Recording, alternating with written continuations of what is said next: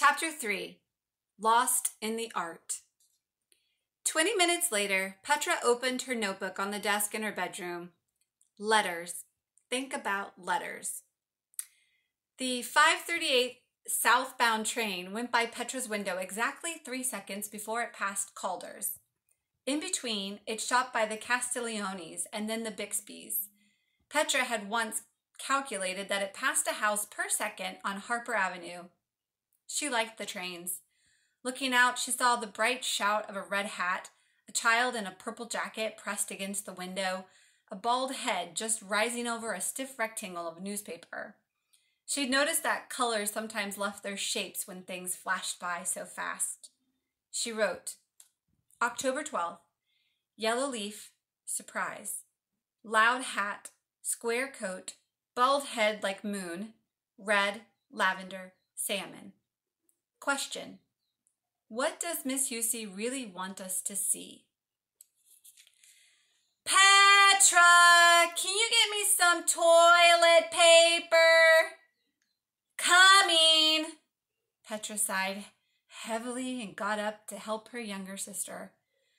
Petra's household was a tornado where life swirled in noisy circles. Sneakers, books, and backpacks traveled through the rooms on unseen currents, and there was always food underfoot and an old frying pan or two on the steps outside the back door. The cats and dog drank from the toilets, having despaired of getting their water bowls filled every morning, and everyone in the family talked to one another at the top of their lungs. Petra wished that things were different. She wished that her parents would sit quietly at dinner and ask how her day was, and that her four younger brothers and sisters would carry tissues with them instead of wiping off rivers of goo on their shirt sleeves in public. She wished she wasn't shy, that she wasn't shaped like a lima bean, and that her left ear didn't stick out farther than her right. She wished she was a famous writer already and didn't have to go through the unfamous stage. She wished her mother wouldn't ever put baba ganoush in her lunchbox. When Denise Dodge had towered over her at lunchtime saying, Ew, what's that? Petra had wanted to murder her on the spot, but only came out with a pathetic, Don't you wish you knew? As Denise moved away, Petra heard her saying loudly to her friend, Blech! Aren't you glad you don't have to eat baby gush for lunch? The family socks basket was another thing Petra didn't like. She always ended up with one sock either too big or too small.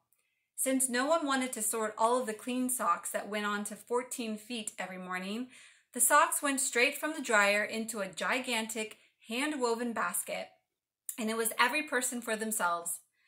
Each fall, Petra's mom bought the same color socks for all seven of them so that, in theory, there was always a size that fit. But reality in the Andalee family was never that tidy. Like many kids in Hyde Park, Petra was a club sandwich of cultures. Her father, Frank Andalee, had relatives from North Africa and Northern Europe, and her mother, Norma Andalee, was from the Middle East. Petra didn't think much about what racial category she belonged to. Her family had let go of that way of looking at things a long time ago. She did know that for many generations on her mother's side, every first child who was a girl had been named Petra. She also knew that Petra was the name of an ancient stone city in Jordan, a sophisticated and graceful city that had risen out of the desert more than 2,000 years ago. Three quarters of its ruins were still covered with shifting sand. She liked the thought that she was named after a mysterious place of buried secrets. The last, first daughter, had been her grandmother, who lived in Istanbul now. When she had visited Chicago a couple years ago, she had told Petra that all of her namesakes had grown up to be very beautiful and very lucky. The younger Petra had looked doubtfully at her grandmother, who just looked whiskery and wispy, and who seemed to spend all day losing everything she needed, like her slippers or her black eyeliner or even the bathroom. Glamour might have been easier in the past, Petra was sure that every Petra before her hadn't had to put up with thick glasses with blue and purple speckled frames. And every Petra before her probably hadn't had to worry about what she was going to step on first thing in the morning. dried cranberry juice or a plastic dragon or something coughed up by the dog. On her way to get toilet paper, Petra stepped heavily on a headless soldier. Served her right for being so nosy about Miss Hussey. Then Petra heard her parents arguing downstairs. But everyone has something to hide, her dad was saying angrily. He was a physicist at the university, and Petra knew he'd been worried about his job. She heard her mom saying something in an impatient tone, and then the words letter and forgotten, and the quick, harsh sounds of tearing paper. What could this be about? Her parents hardly ever disagreed. A forgotten letter? She wouldn't bring a family secret to school, but she had to look. When she crept downstairs later, however, the garbage was empty. Calder was in a bad mood. The letter assignment felt too hard. How could he ever write Miss Hussey an unforgettable letter? And where was he going to find a stupendous letter now that Grandma Rajana was gone? Good letters were no longer written. He was sure of it. Calder's dad, Walter Pillay, was slicing eggplant in the kitchen. As he stacked the pale slices neatly next to the frying pan, he looked over at his son. Calder was sketching a fierce column of five piece pentomino squares down the margin of his notebook. Anything wrong? asked his dad. Calder opened his mouth when the 538 train went by, rattling the windows, making the floorboards bounce, and filling the kitchen with the whoosh whoosh of a passing steel. As Calder mouthed, Nope, his dad grinned at him and mouthed back, Good. Calder, like Petra, was a hybrid kid.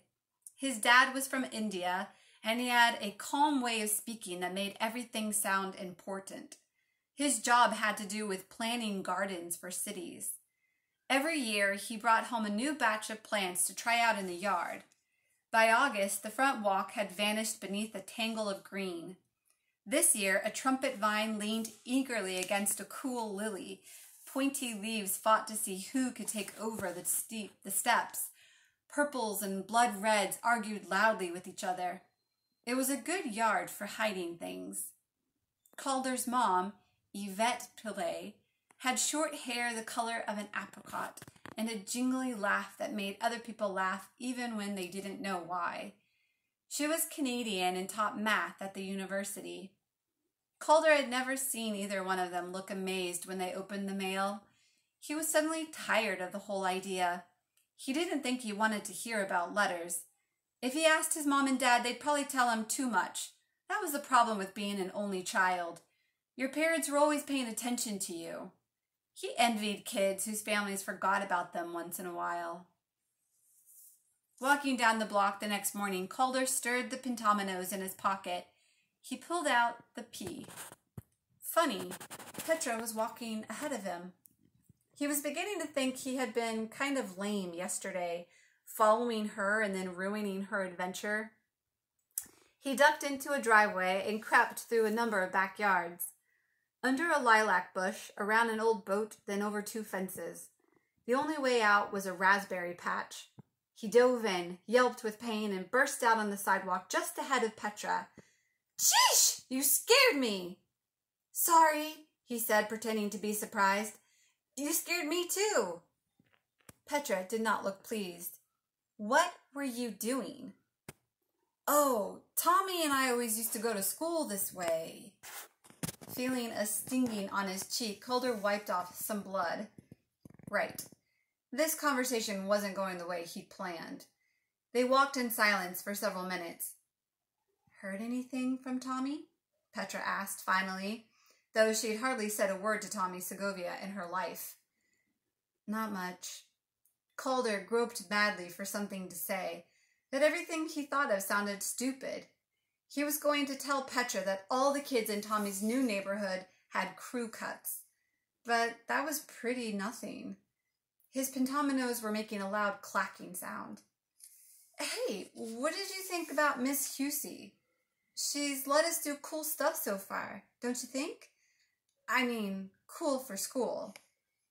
Petra, embarrassed by her accidental rhyme, looked sideways at Calder to see if he had noticed. A raspberry twig was standing upright over one of his ears. He looked like a lopsided bee. She was saying dumb stuff, but she hoped Calder would get the message.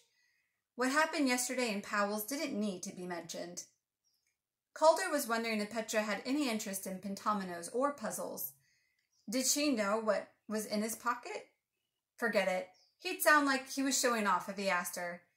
He noticed that she had a couple of Rice Krispies stuck in her hair, but decided not to say anything about that either.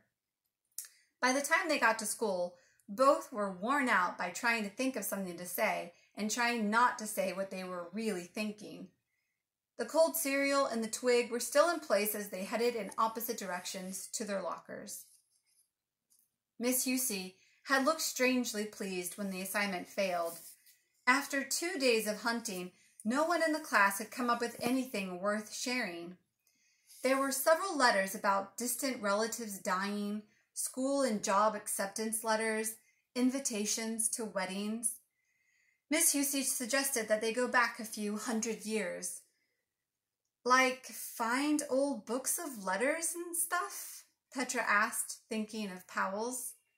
There was a wave of grumbling. How about paintings? All you have to do is look. Miss Hussey said she'd noticed that art often showed what was important to people in any given time. It revealed things. Besides, she'd said with a smile, she was tired of being in school all day. It was time for a field trip. Everyone sat up.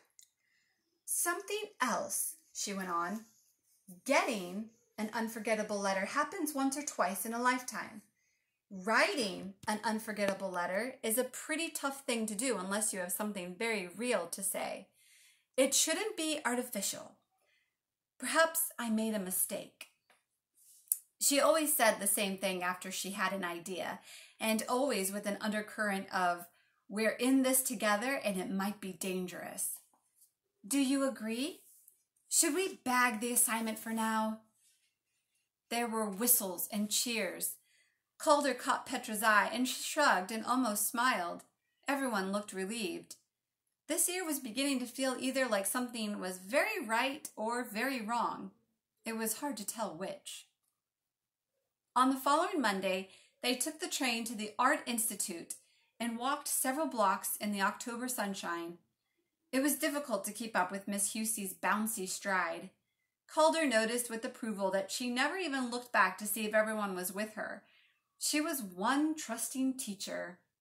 After they ate bag lunches next to the bronze lions on the steps of the museum, they fanned out in the European wing.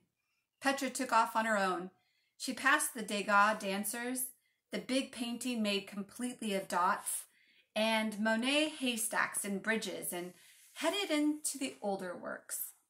When she was in third grade, she'd had a babysitter who took her to the Art Institute once a month. The babysitter would sit in front of a painting, sigh a great deal, and sometimes write things down. She'd tell Petra to stay in one area, but not to bother her. Petra would walk around looking. Soon she began to wonder which paintings would be fun to go into, or which ones she might like to take home to her room. She thought about which of the children in the paintings she'd like to play with. Her babysitter gave her a pad and a pencil, and Petra made lists. She once counted all the paintings with red clothing in them. Another time, she secretly counted all the bare bottoms. She also counted all the hats and found 123. Now she walked slowly from room to room, hugging her clipboard, she was sure there was a letter somewhere near an angel, or was it rolled up in someone's hand? They had one hour to look, and she knew she'd find something. When Calder saw Petra disappear, he decided to follow her. He stayed a gallery length behind and was so busy trying not to be seen that he barely noticed what was on the walls. Then, quite suddenly, Petra was gone here is a picture of them in the Art Institute. There's Petra and there's Calder. And she looks like she's heading off.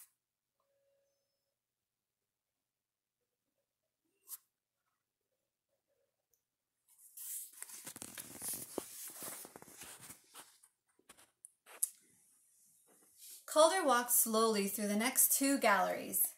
It was getting late. He'd better start hunting on his own. Turning a corner, he spotted something promising.